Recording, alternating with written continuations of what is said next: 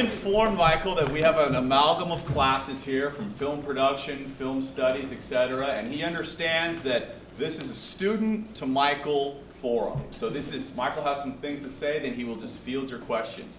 Before we start, I really want to thank Ted Katie over here. Ted Katie produced the event. Ted asked, me, asked me about a year ago if it would be cool to have someone like Michael Moore come in and teach a class here, and I said that would be very cool. So, Michael Moore, San Jose State. Well, geez, thank you very much. I guess I should put on the official San Jose uh, State. All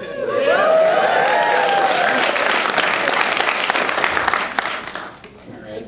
And I, I'm not in Michigan. I don't need this. Uh, you know, we make movies um, to be seen uh, not alone, first of all. Going to the movies is a communal experience. So when you're watching a movie on your computer, or worse yet, on your iPhone, you're watching a version of a movie. You're watching a different rendition of that movie, but you're not watching that movie. When you're watching that movie on your computer, I don't care if you stole it or whatever. I don't, that's, that's an irrelevant issue as far as I'm concerned. I'm more concerned with the fact that you're not watching a movie. You think you're watching a movie, you're not watching a movie. Because it is a communal experience intended by the director, by the filmmaker, by the people who work on that film, for you to see it and share it with people in that room. If you're making a film, sound is more important than picture. Even though they're called the motion pictures, um, the audience will be very forgiving if, um, um, for some reason, it's a little out of focus, or the camera's moving around, or whatever. You know this from going to the movies in the theater, that um, if the film is slightly off on the curtain or whatever, everybody will sit there for the rest of the movie. Nobody will get up and say anything. But if the sound drops out, it's a riot in there, right? the reason for that is that the sound carries the story. The sound carries the story, not the visual. And so too, uh, too often in film school or in film classes, um, um, we don't put enough thought into sound and the importance of sound and spending what limited funds you have on good sound and making sure the sound is, is correct, is right. But I also think that, I think what makes movies so boring and ridiculous and unwatchable uh, these days is that, uh, no, it's not so much the acting, it's the story. It's always the, the story is, you already know what's going to happen 10 minutes from now. There's no surprise.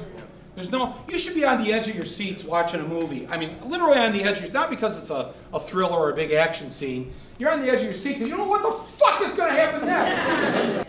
you thought it was going to go one way, but then it went the other way, and then you're happy. You're happy that the author or the director tricked you, lied to you, almost, right? And, and, and in fact, you're not proud of yourself that you figured it out 10 minutes ago. Right? You don't sit up in your chair and go, ah, I knew that 10 minutes ago. You go, this is fucking boring. now I know what's going to happen in 20 minutes. When is this thing over?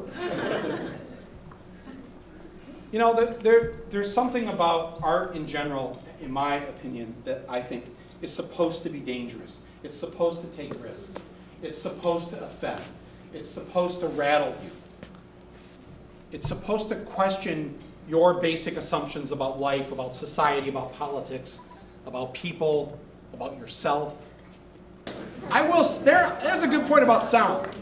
Because I, when the first time I saw Jurassic Park at a great theater, and the first time off in the distance you hear the hoof, the foot of the dinosaur, and it just went through the theater. That before you saw the dinosaur, it, you were scared shitless about what was going to happen. and they hadn't even shown you a dinosaur. There'd been no blood yet or anything, and the sound was like it was. I just remember that moment of that first, that first. You know, the whole place just. This is not painting or sculpture, which are very singular art forms. It's just you and the clay or you and the easel. This is a collaborative art form, so you have to be able to work well and communicate well with the people that you're working with so that they can enact or help you enact your ideas.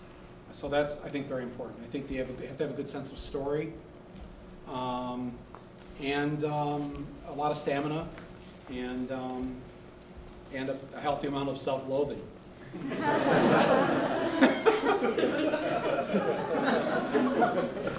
Um, But, but it's, a lot of it really is the sort of willing it to happen. If you believe that you're that kind of person, you know, you're just gonna make this happen. And, and I think if- you start every day like that when you're making a film, you have a better chance than sort of the attitude of, how the hell are we ever gonna do this? This is insanity. Uh, So, uh, Thank you very much. Uh, Those of you who are going to make movies, please um, go out and make some great films. Uh, We we need them. Um, New ways of distributing them are going to be found. The old way um, isn't working well right now, especially for new and independent and young. When I grew up, people my age and a little bit older were making all these great films. We don't get to hear enough of your voices these days. And it's not enough just to put it on YouTube. Uh, it- it- there- There's, there should be something else. So I look forward to, to seeing what happens, and I'm going to hopefully contribute to that in, in some way. So please go and do your best work, whatever that work is. If you're an actor, uh, if you're a writer, if you're a journalist, um, we all need you right now. Um, we, we've got ourselves in a really messed up situation. And your parents, my generation, um, haven't really handed you a very pleasant world. And, um, and so, my apologies for that. Um, but hopefully, you know, you all seem like uh, very smart and energized people. So you'll come up with something that we couldn't come up with, right? Yep. And make it a better place for your kids and your grandkids. So good luck with that, and thank you very much for letting me speak.